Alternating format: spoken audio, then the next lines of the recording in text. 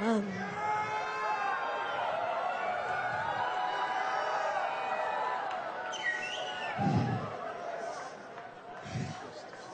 I was in the room.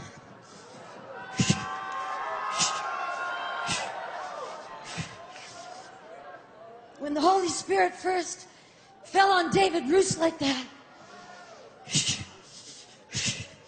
God began to talk to us about a move of the Spirit that would come.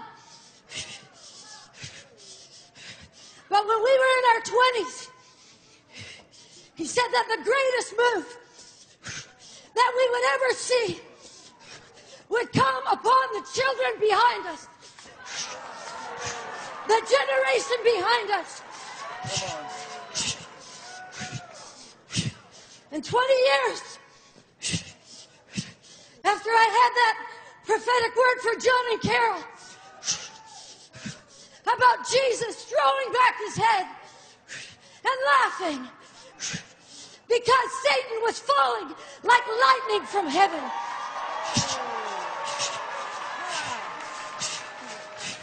And that the great danger of that day would be to focus on the manifestations and forget that people's names were being written in the Lamb's Book of Life.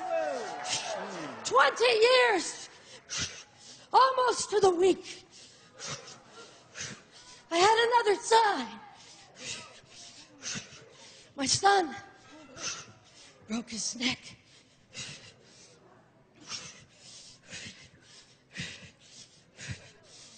The doctor said 95% chance he would never walk again.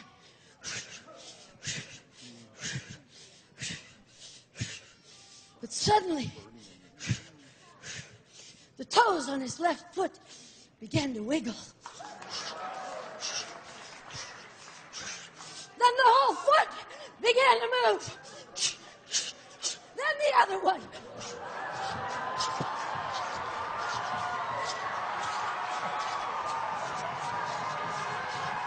He can run. Five weeks later, he walked out of that hospital.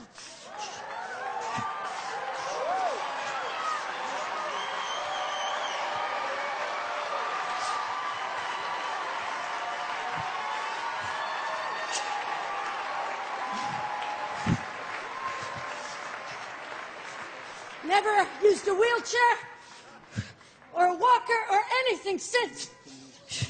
Driving a car now. And the Lord said, That's the next generation. People say, Can any good thing come out of there?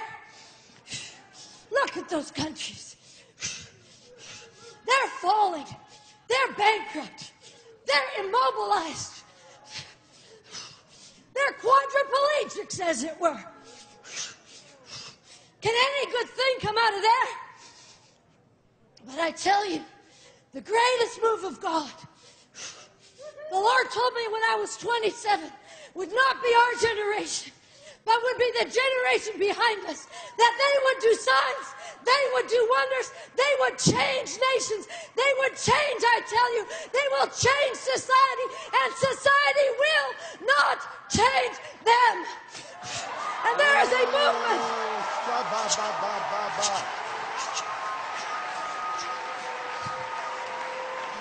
of reformation coming. And the power of God is going to hit the low places. Justice movements are going to spring up all over the world and make the low places high. Righteousness is going to move into corrupt governments. Brazil, Brazil, get ready. Brazil, Brazil, a wave of my holiness and a wave of my power. Reformation power is coming to the nation of Brazil and many other nations too.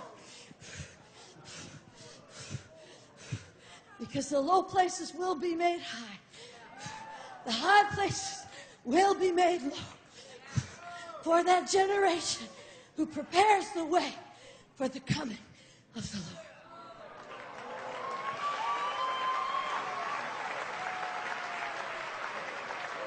Wow, Stacy.